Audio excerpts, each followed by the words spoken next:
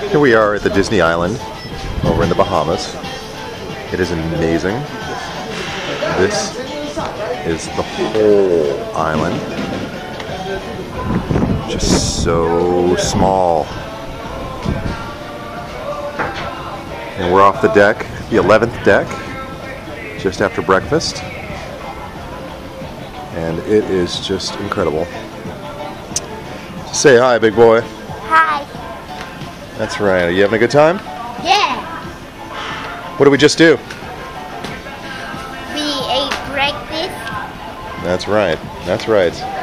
Who do you want to go see down there? Papi and Luna. That's right. And Donald Duck. And Donald Duck? Really? You think? Yeah. Du- And